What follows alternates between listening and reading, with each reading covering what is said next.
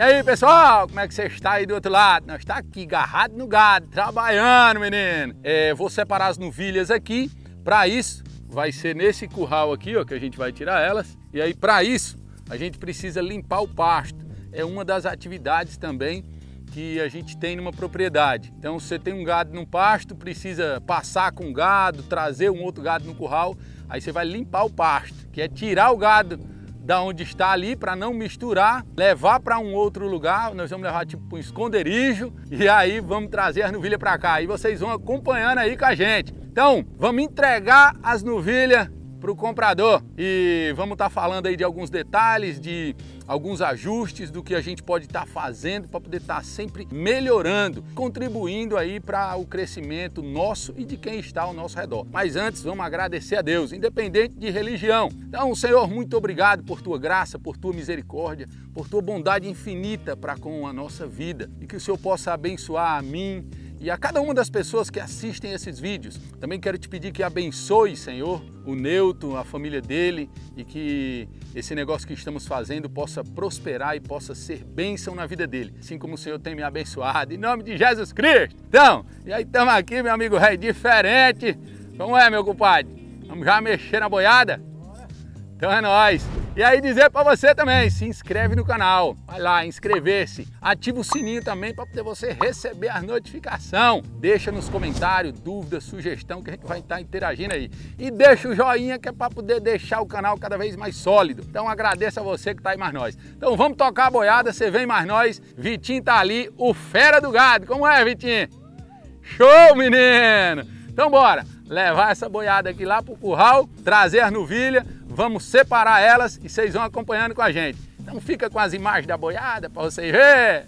Olha que cena maravilhosa ali que vai já ter. Olha, rapaz, aquilo é um presente de Deus, não é não? Aquelas galças carrapateiras. Olha que maravilha. Ei, Carolina, que negócio é esse? Carolina tá tocando uma música aqui. Então, vamos tirar a boiada aqui. Olha lá. É, esse gado não está acostumado muita gente mexendo, mas devagarzinho elas vão indo. Olha, olha o cenário, ó, ó. Então você gosta de fazenda, você gosta de mexer com gado, você gosta de um cenário como esse, acompanha a gente. É uma satisfação ter você por aqui. E aí a gente vai compartilhando uma bezerrada diferente dessa, uma boiada diferente dessa. E aí eu digo daquele jeito, é show, papai! A gente tá aqui e o pessoal sempre fala aí que capim que eu uso aqui o capim predominante aqui dessa região toda de Rondônia é o brequearão, mas tem morrido muito capim, pessoal. É, ó, tá vendo ó, essas manchas aqui, ó? Isso é fungo, um fungo esquisito que tem dado e tem morrido muito capim.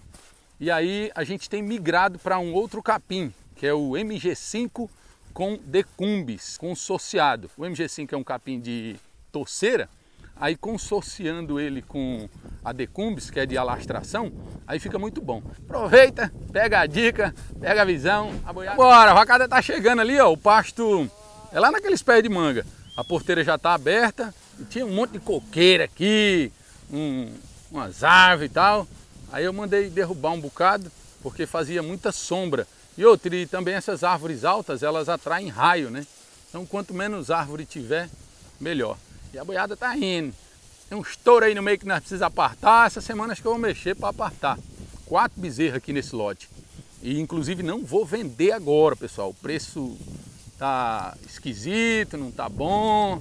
Aí vamos dar uma esperadinha para ver se a gente consegue um precinho melhor, enfim. Ou ver pelo menos o mercado se ajustar, né? Se ajustar, essa é a ideia. Esse gado vermelho aí que tem no meio, às vezes você olha e fala, ah, pai, mas por que você cria esse gado vermelho? Isso é um gado da raça cimental, é um cruzamento industrial que gera uns bezerros fora do comum. Olha aquele bezerro ali perto do touro, ó, que a vaca vai chegando nele. É uns bezerros que tem um peso diferente, é uma estrutura diferente, é um gado muito bom. Fico esperando aí elas, elas passarem aí, é um gado tranquilo, bom de mexer. Aí eu fecho a porteira, deixo elas aí dentro, aí vem com outro naquela outra porteira ali, ó. Aí, ó, aí eu vou abrir essa outra porteira, a gente vai vir com as novilhas por aí. Aí não mistura, né? Não tem o problema de estar tá misturando, de estar tá tendo problema. Então bora, já nós segue a viagem. Aí pessoal, aí as vacas vão ficar aí só enquanto eu pego as novilhas ali, ó. As vacas estão aí e as novilhas Estão acolá, tá vendo? Acho que dá pra ver aí, né? Dá sim. É porque aqui na tela do celular tá brilhando. Mas olha lá, elas estão lá. Aí a gente vai vir com elas ali por aquela cocheira. E vocês vão acompanhando devagarinho. Estão na cocheira ali, que eu botei proteinado pra elas. Aí, vamos ver se elas vêm, viu? Diz que o gado conhece seu dono. Então vem, boi! Chega, chega, chega, chega, chega, minhas bonecas! Ei, menino! Aí, falo pra você, homem, que isso aqui dá uma emoção fora do comum. É bom de verdade, viu? Chegaram! E as que nós vamos tirar vai ter as manchinhas na bunda amarela. Olha lá, aquela dali é uma. Olha aqui, não vi ajeitada. Olha lá, aquela lá é outra, ó. Passando ali. Ali outra. E a vermelhinha aí, ó. É um tronco de nuvia. Mas vamos levar tudo. Essa tricróis aí, ó. É tricróis cimental. Filha de vaca meio sangue cimental. Bora, boneco. Vai. Oh! Vai, nuvia. Boi. Vai. Lotinho homogêneo. Tem duas vacas aí no meio. Nós vamos tirar elas. Daqui uns dias eu vou tirar elas, deixar só a novilhada mesmo. Olha, olha a farra. Elas estão farrando, ó. Tá vendo? Estão se divertindo. Ai, meu Deus do céu. Isso aqui é diversão, viu? Não é trabalho, não. É boiada. Uma delas é essa daqui, ó, que vai embora. Tá aqui na frente, ó. Uma nuvia boa, viu? Agora também é importante, você vai vender, procure comercializar aquilo que você tem de melhor. Porque um produto bom, ele faz um nome, né? Quando alguém perguntar, rapaz, tu comprou a quem? A fulano. Aí a coisa já impulsiona, né? Foram-se embora ali, ó. Tá vendo que estão só se divertindo? Olha lá, Estão se divertindo. Elas vão lá naquele curralzinho lá, acho que dá pra ver o telhadinho, né? Nós vamos levar elas pra lá. E você vai indo mais nós. A lida do gado, meu filho. Olha que gado manso de curral, pessoal. Geralmente elas entram por uma porteira de ferro que tem ali, que é um canto. Mas são mansinhas de curral. É bom, né, a gente educar desde pequenininho, né? Ficam tranquilas, entram num curral com mais facilidade, não dá trabalho. Não é isso?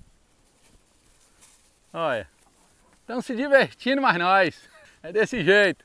Então bora, agora vamos botar elas lá para dentro para nós apartar. Você vai acompanhando aí a lida de boiadeira, a lida do gado, meu filho. Pronto, agora vamos levar elas ali no curral. Elas nunca entram, nunca entram muito nesse curral, porque eu sempre trabalho elas mais lá do outro lado. Mas como elas são mansas, eu acredito que não vão dar trabalho. Vocês vê, as últimas bezerras que eu vendi, elas deu trabalho a entrar, hein? Essas aí, ó. É mansinha, mansinha de verdade. Vai, noviada, show! Ô, boiada, vai!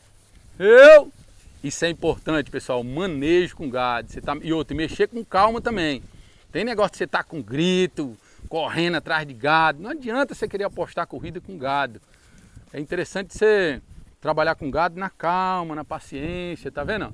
O gado fica tranquilo. Agora, se é um gado que você agita, aí automaticamente a sua agitação vai gerar a agitação dele. Aí, pessoal, as princesas tá tudo aí. Aqui já fica um pouco mais agitada, tá vendo? mas porque a gente está a pé.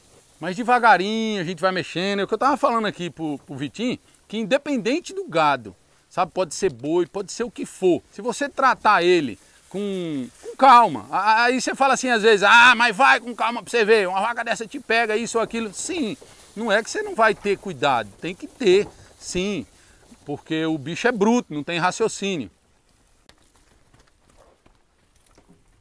Pronto, duas pintadas aí, para baixo. Olha como são tranquilas, tá vendo? Vai, oh, oh, oh. Vai. Bora, vai, vai, vai, vai. Pra cima, viu?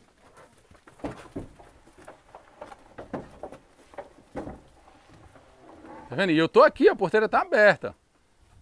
E elas estão indo. Vitinho, o homem do gado! Vambora! Então, ó, praticamente apartamos elas sem, sem precisar muito moído, ó. Tá vendo? Essa é a última das pintadinhas. Bora, boneca, vai.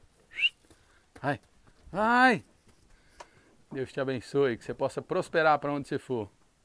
Lá, tá vendo a tranquilidade? Agora ficou essa nuvinha. Bora, nuvinha. Aí, desde pequenininho a gente vai educando. Ó! Show!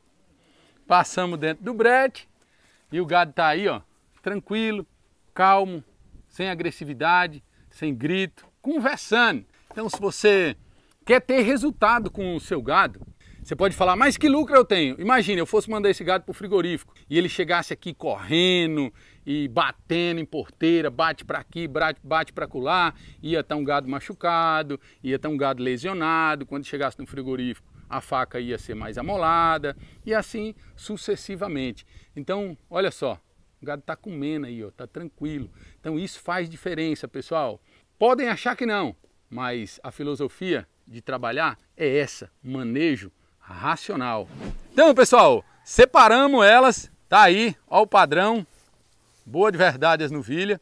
Não deu trabalho para separar, porque a gente separou aqui, uma por uma, dentro do curral, eu com a bandeirinha, e foi separando, e separando, e não deram trabalho. Olhem como são mansas, tranquilas. Essa daqui é a mais mansa que tem.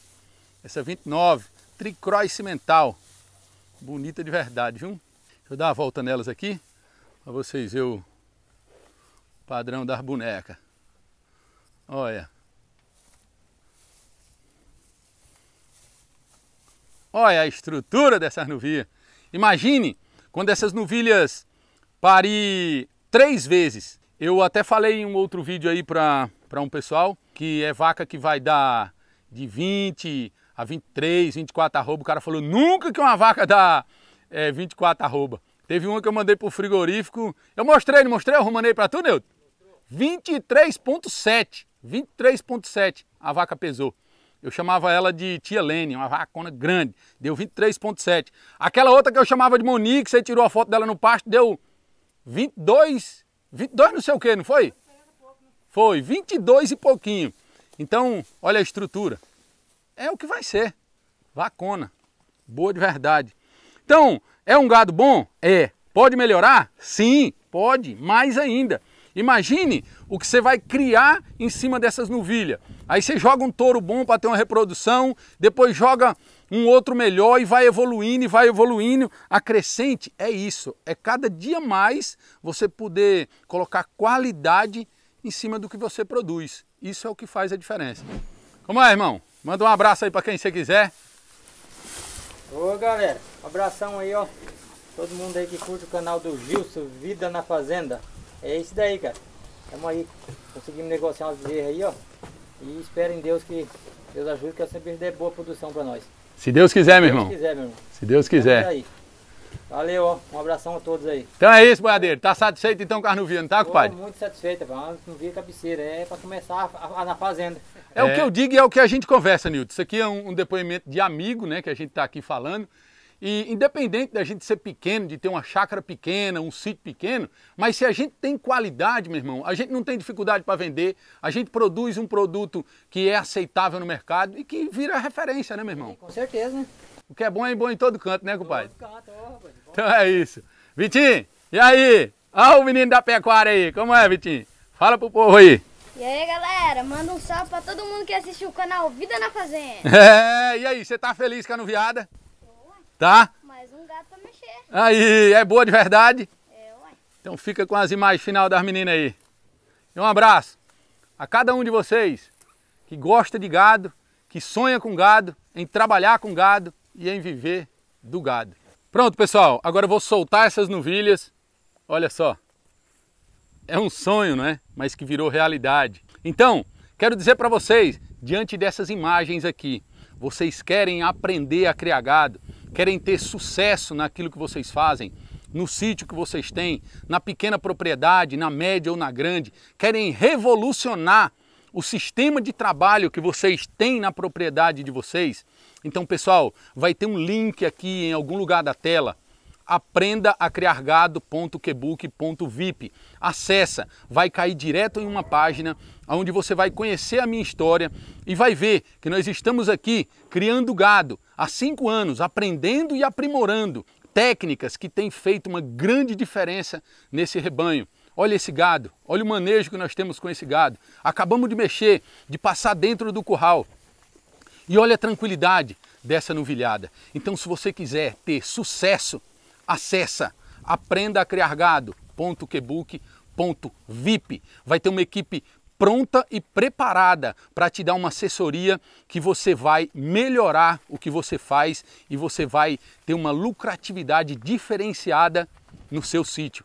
Criar gado é uma arte, então venha fazer arte com a gente. Agora eu vou soltar elas para poder vocês verem o manejo e o trabalho que nós temos feito. Esse gado é produção nossa, é a terceira remessa de gado que eu tenho tirado aqui do nosso sítio. E graças a Deus, nós temos obtido excelentes resultados. Eu, pessoal, para vocês que conhecem um pouco da minha história, eu era um, um médio empresário no estado do Ceará e sempre sonhei com esse trabalho de mexer com gado, de trabalhar com gado. Eu vivia atrás de material que pudesse me ensinar pelo menos o básico, como que eu podia lidar com uma vaca, como que eu podia é, trabalhar com o manejo com o gado. E eu nunca encontrei um material pronto para poder eu ter a real certeza de que eu estava no caminho certo. Todo o material que nós gravamos aqui foi aqui na propriedade, desse mesmo jeito que vocês estão vendo aqui, com a mão na massa. Não é um material feito em estúdio. Olha esse gado, vão sair daqui devagar. Não é que vão sair contando história, mas não vão sair feito louca correndo. Então isso, isso, ó.